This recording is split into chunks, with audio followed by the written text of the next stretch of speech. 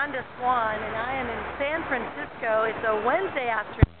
We're at the Moscone Center here at the AdTech event, and uh, I'm here with my partner, Michael Hamburger, my partner, Scott Hachey from Platinum Synergy Group, the one that developed our Incomes Unlimited um, back, background platform for our business.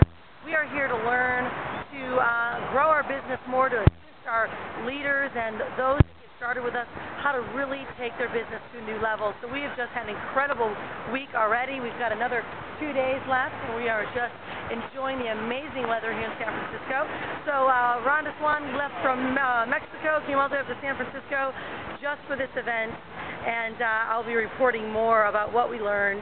And uh, if you want to get started with our company, you'll be able to uh, take advantage of all the knowledge that was learned here this week. Cheers to you. Have an incredible